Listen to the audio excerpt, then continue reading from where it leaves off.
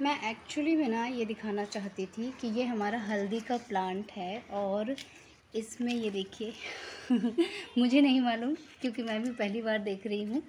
ये देखिए कितना ब्यूटीफुल है। Oh my God lovely cutie तो ये मैंने पहली बार देखा, पहली बार एक्सपीरियंस किया और हमारे यहाँ हमेशा ही हल्दी हो जाती है।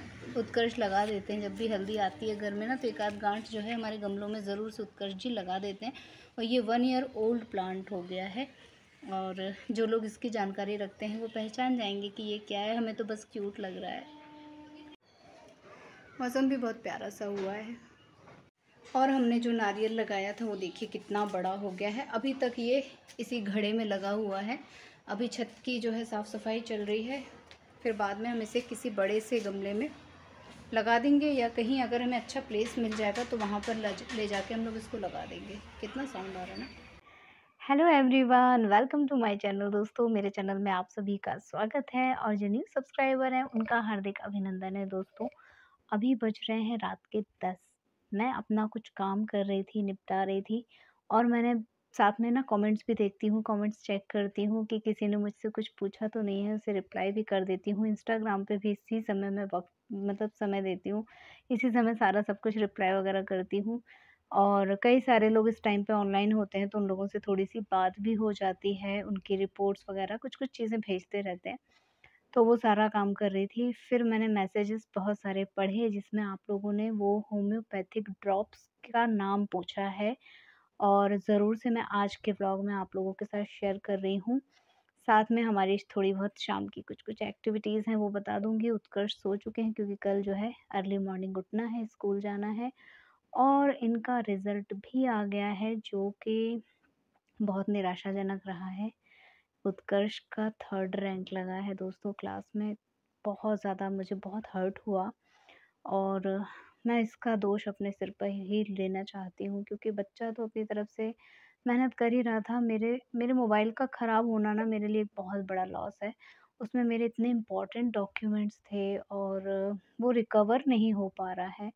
मोबाइल डायरेक्ट एकदम डेड हो गया। एक तो मेरी वीडियोस अच्छी नहीं बन पा रही हैं इस नए मोबाइल से। लेकिन फिर भी चलो ठीक है वीडियोस तो काम चलाओ हो जाएँगी बट वो कुछ मिल जाता ना उसका डाटा वगैरह तो मैं सवा किलो लड्डू चढ़ा दूँगी। इतने इम्पोर्टेंट उसमें डॉक्यूमेंट हैं। उत्कर्ष का सारा वर्क उसमें आया था।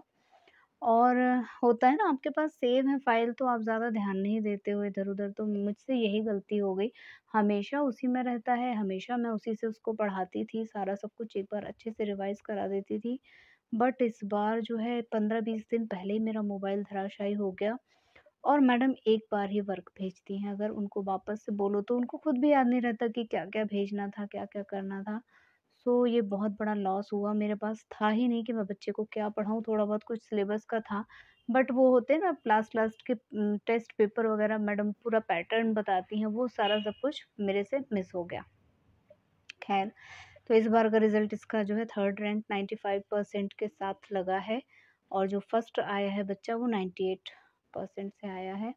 उत्कर्ष फ़र्स्ट से सीधे थर्ड पे आ गए हैं, ये मेरे लिए सबसे ज़्यादा शॉकिंग था।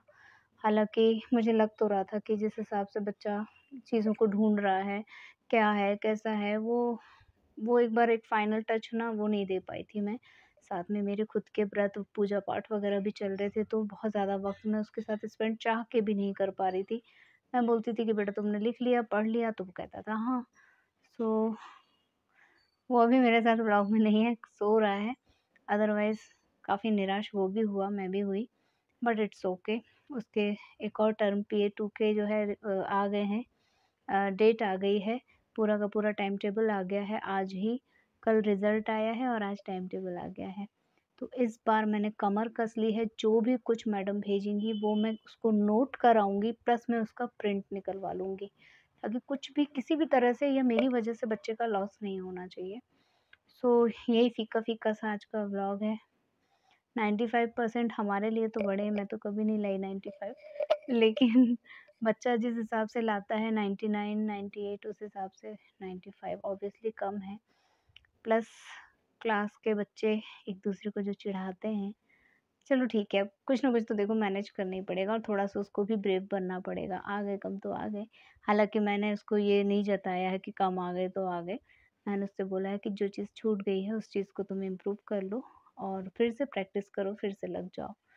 तो आप लोग अपना आशीर्वाद देते रहिएगा बच्चे को ताकि उसे सद्बुद्धि मिले पढ़ने की और उसकी माँ को भी। सो so, uh, सोचा तो था दिन में ब्लॉग बनाने का लेकिन थोड़ा सा अपसेट था वो।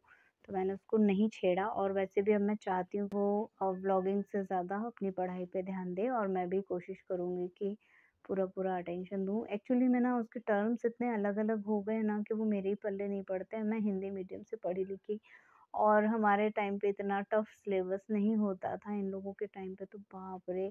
क्या क्या पैटर्न्स है मैथ्स में? मैं तो घबरा गई। मैंने कहा, ये क्या तरीका है? अरे मल्टीप्लाई ऐसे करना है, कर दो। लेकिन उसको स्टेप बाय स्टेप सिखाया गया है। और अगर एक भी स्टेप बच्चे मिस कर देते हैं तो उनके मार्क्स कट जाते हैं। सो so, इसको यही कन्फ्यूज़न हो गया था क्योंकि क्या होता है ना कॉपी में जितना स्पेस दिया होता है कुछ खंड वगैरह दिए होते हैं इसने काउंट करके देखा कि वो तो नॉर्मल वाले का है तो उसने नॉर्मल तरीके से कर दिया बट नॉर्मल नहीं करना था कुछ इस तरह का था। तो इसके जो मार्क्स कटे हैं कुछ इसके कन्फ्यूज़न की वजह से कटे हैं कुछ इसके पास चीज़ें ना होने की वजह से कटे हैं। बाकी जो भी कुछ लिख के आया, जो भी कुछ करके आया, वो पूरा परफेक्ट करके आया था। तो ठीक है यार, अपने आप को मैं समझा रही हूँ it's okay it's okay but ऐसा लगता है ना कि फ़र्स्ट से सीधे थर्ड पे आ गया और अब थर्ड से कहीं ज़्यादा धराशायी ना हो जाए तो कुछ ना कुछ तो मुझे देखो करना ही पड़ेगा। तो ज़्यादा बकबक नहीं करती हूँ, एक छोटा सा अपडेट आप लोगों के साथ शेयर कर रही थी और दवा का नाम दे देती हूँ। इस दवा को जो है आप लोग, छोटे बच्चों को दो ड्रॉप से ज़्यादा नहीं दीजिएगा। बड़े लोग चार से पाँच ड्रॉप ले सकते हैं, दिन में तीन से चार बार आप इसको ले सकते हैं। अगर आपको बहुत ज़्यादा हैवी वॉमिटिंग या लूज़ मोशन हो रहे हों, इसके कोई साइड इफ़ेक्ट नहीं है।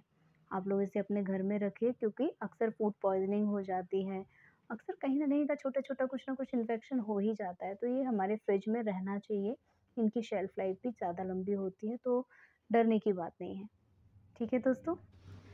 ये है वो दवा दोस्तों, आप लोग थोड़ा नाम देख लीजिए। मैं काफ़ी जूम करके दिखा रही हूँ, ये लूज़ मोशन की है और स्क्रीनशॉट करके रख लीजिएगा। इसे आप फ्रिज में रख लीजिए और कोशिश कीजिएगा कम क्वांटिटी में ही मंगाइए, छोटा पैक मंगाइए। और ये है वॉमिटिंग की।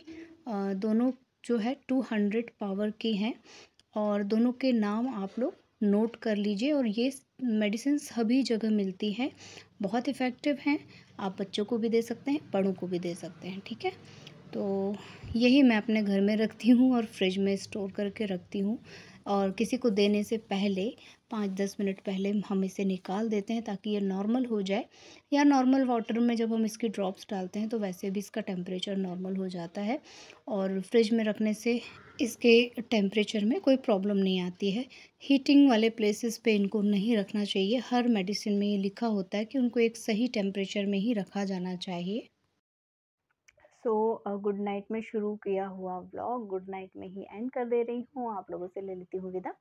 मिलूँगी अपने नेक्स्ट वीडियो में और जाने से पहले वही रिक्वेस्ट करूँगी कि अपना ढेर सारा प्यार और आशीर्वाद दीजिए दोस्तों। बहुत ज़रूरत है, बहुत ज़्यादा। हर मामले में ज़रूरत है, बाद में बताऊँगी। तो अपना ख्याल रखिएगा और कमेंट डाउन करना मत भूलिएगा। और मैं तो भूल ही मैं लास्ट में क्या बोलती हूँ। Good night.